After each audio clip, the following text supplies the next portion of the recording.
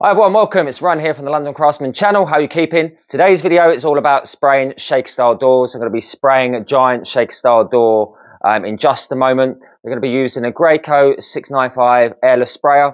We're going to be spraying silk. Yes, silk. And it's going to be for the primer too. So three coats of silk.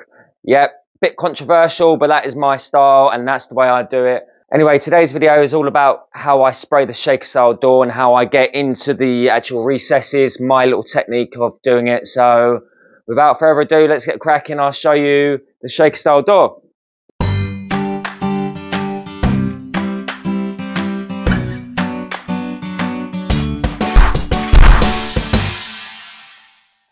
All right, so these are the shaker style doors.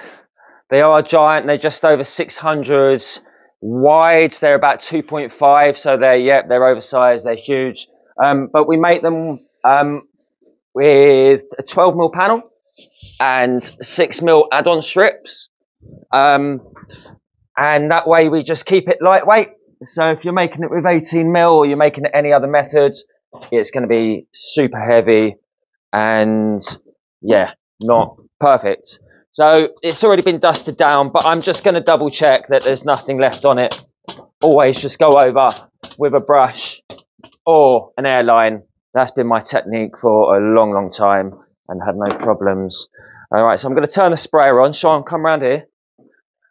And this is what we've got. Oh, it's actually the 595 I'm using today. It's set up, it's on quite high pressure, and I believe it's um, down to the temperature. We're spraying at around 1700 psi. I like to get it a little bit lower most times. When you're spraying emulsions, you need to ramp up the pressure sometimes a little bit more um, than usual. Again, I'm spraying trade silk. Um, anyone who's watched me or follows me or subscribes to me knows that I just do mainly, if it's a white anyway, only the white.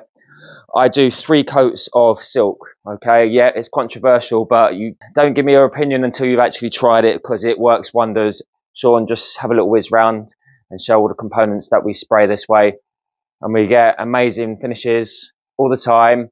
So basically, we're just spraying one coat of this, um, then we sand it down with P240, and then we do two final top coats, no sanding in between, and we get really, really good finishes. And it's tougher than you think. So if you're rollering this, I wouldn't advise it whatsoever, doing it my technique, but for some reason when I'm spraying, it gives a much better finish and it is stupidly tough and durable. I've got no reason to change. I've had lots of people saying to me, use this paint, use that paint, do it this way, do it that way, but I don't need to change. When I spray this directly onto MDF, it is much better than just a standard primer, trust me. When you put this on and you try and sand it back, there is no getting it off. There's even if you've got a screwdriver or something like that, you try to get that out of the MDF, it just wouldn't. It's absolutely solid as a primer. Anyway, that's that's what I'm going to be doing. Just going to be going straight on with the silk, uh, with the airless sprayer. It goes on quite heavy. I'm going to get the extractors on. Um, so they're on, get some airflow going. Um, hence the reason I'm not going to be wearing a mask. Firstly, you won't be able to hear me. So what I generally do is I hit the back edge first, okay? So again, set up, well, let's go over the tip to be honest. We're going for a 310 fine finish tip, okay? Right, so just gonna hit that back edge. I've only got a five meter hose, so it's just a little bit tight when it gets to the end, but Okay, so I've hit that back edge, all right? So next thing, I mean, you could play around with what you want to do next but I generally just give it a hit here. Try and aim directly into that corner. Go at a constant speed. Don't change your height. Let's, let's go for these shorter edges. So what I'm going to do is always start away from your work because most of the time, unless you've got a little gadget, I think it's called a clean shot, when you press the trigger, you get a very slight drip or a spit. So let's say spit. So if you start it where you want to spray, you're most likely going to get a spit. So I always start away. Ready, Sean? And then get in that corner, okay? And then again, let's go for this one.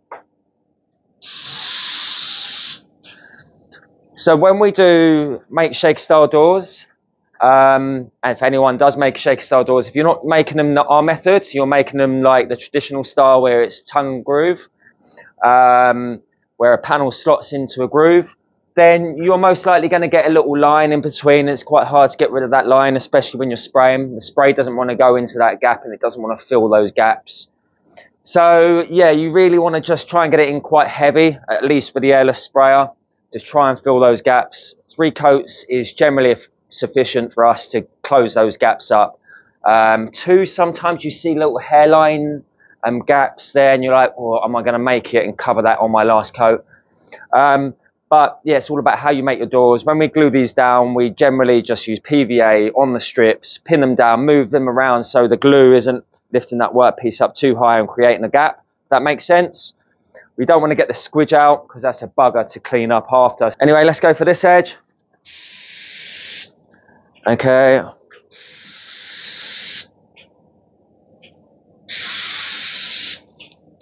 Spraying my leg here. And the last one. Okay. And a bit a water drip. Okay, so next thing I would generally do, if the door wasn't so big and so awkward, I'd spin that around and do the same so that unpainted edge would be over there and then I'll just go for a spray.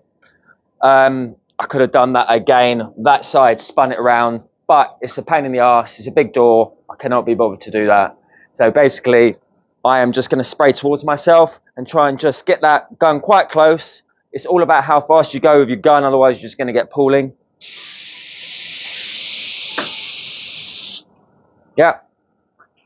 I'm not sure if you can get in there, Sean. You can just show that we've just got into those gaps, all right? Nicely. All right, so now we've hit all of those corners. I'm simply just going to go for the whole door. So I'm just going to simply just go for a big sweep of one final hit of the door. All right, again on the edge. And yeah, so let's just go for it now.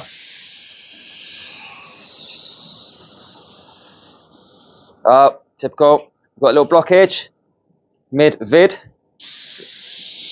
Let's finish it there. Right, back on track. Right, I'm just going to keep going. I generally don't let go of the trigger, but for this one, I'm going to do it. Mix it up a little bit. Start away from your work. Constant speed. I'm about 150 mil away from my work. This is where I'm going to start aiming into that corner again, get that fill right into that corner. Again, another blockage, pain in the butt. So it's the last pass. There we go. Oh, to be honest, it's a little bit light there. I'm going to go for one more hit on this edge. I'm not bothering with the top and the bottom, mainly because we're going to be 50 mil away from the ceiling up there and 50 mil away from the floor. So it's absolutely pointless in my eyes. Um, so that is it. I mean, it's it's as simple as that when this is dry, it's going to get a hit with P240 to sand it back to make it nice and smooth. And then it's just simply going to get, going to get another two coats exactly the way I've just done it just now. Um, the same methods, um, with the same paint, exactly the same. Nothing changes. So that's it really. Um, it's pretty simple. It's all about the speed of your gun, how you move, the height. Um, it's a mixture, but you get the feel, you know, after you've been doing it for a few years, it gets easy with the gun. Um, you just got to flow. You just got to flow and just do a lot of practicing before you know it. You get you you'll know how far your gun's got to be away from the work, how fast you got to move, um, because it's so easy to get a pull. I'll give you a little demonstration of a pull, okay? Right, so let's just use this. All right, can you see the light? Right, so ready? If I go for too long, ready? Yeah, look at that. Can you see that? You see a big blob, and that's just like one second. So, gotta let that dry now. That's my little spot board where I spray over. Anyway, yeah, so that is it really. Um, hope you've enjoyed. If you've got any more questions, let me know. Um, we're trying to hit the 50,000 subscriber mark. So if you like the video, make sure you leave a comment um, and subscribe, all the usual, thumbs up. Other than that, guys, thanks for watching. Have a great Sunday. See you next Sunday. Take it easy. Ciao for now.